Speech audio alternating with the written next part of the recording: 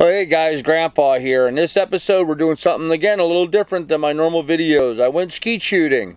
Haven't been to the range in a long time. Thought you guys might enjoy watching a round of skeet. Anyhow, here it goes. There's always something that needs fed up here on Grandpa's farm in Alaska. A place where you're always welcome. Come on, Lily. Let's go feed. One more round, we'll make it an even hundred and call it a day.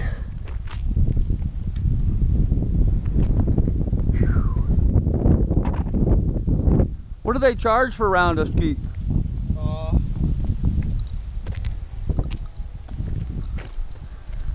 You don't know, okay. well, I think it's like seven. Seven? Are you a member or not member? I don't know yet. I'll find out when I get inside. Uh, I think it varies. Huh. I think if you're a, I think it's something like seven bucks, seven or eight bucks around. Fair enough. Well, let's see if we can do a little better this time, shall we? Yep. Paul! Paul! Dead pair.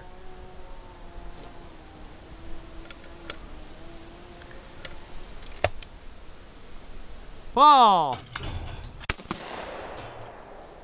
Sorry, I forgot. Oh, okay. I was like, did I get them both on one shot? Just go to single them. Okay. I'll wait for it to get out here. There we go. Now you have, now you have your option low because it might screw up. It's all right. Paul.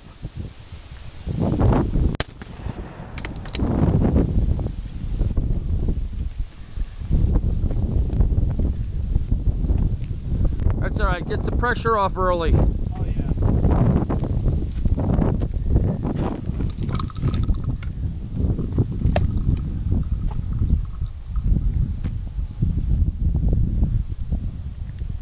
Paul. Paul.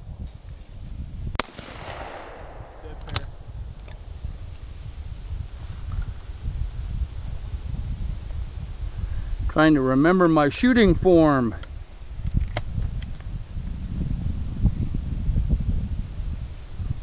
Paul.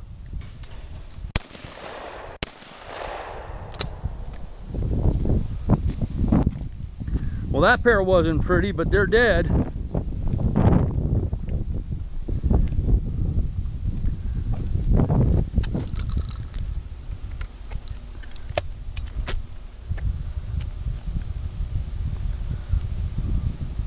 Paul. Paul. Ah, way under it. That's two down.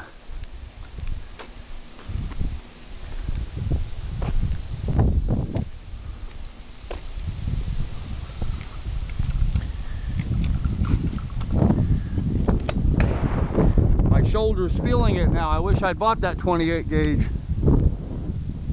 Paul. Paul. Red pair. Down two still.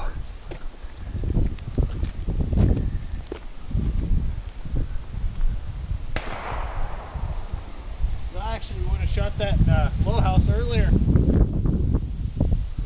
I'm used to shooting it. What's that? I'm used to shooting this low house about right here. Try to catch him in the middle? Yeah. Yeah. Of course, I've also been like coached for a couple of years, for a couple of years, so I'm trying to like they want you to shoot at a certain spot, Yeah. even though I Well, you do. You, that's Yeah. exactly what you want to do. You know, I, I try to set for the center pin. Yeah. So I put my lead foot pointing to the center pin. yeah. Okay, that's where I set up from. I go to here. That's where I want to shoot the bird. I want to shoot it right there. When I go back to the house, I swing through it as it crosses the center pin. Paul. Ooh, I was over the top of that one. Oops, I should open that one. All right. Paul. Whoa, what the hell was that one? Did you see that one put the brakes on? Yeah. What, woo. It went up, then kind of like stopped and went on. So what am I down now? Three? Damn. Ah, crap. I suck.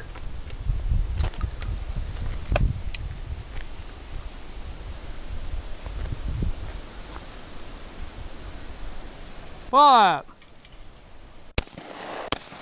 Son of a bitch. See if you get away like that.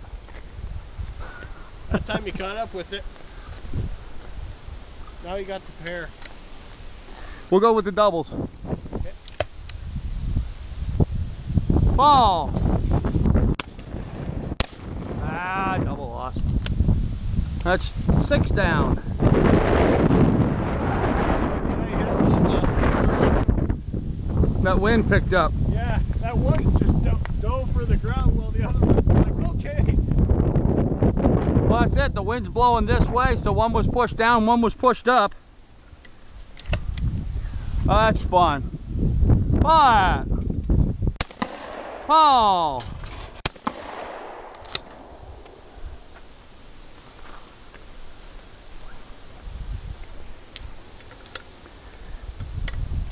Now see here, I look at that stake where those clay targets land, and I line up on that.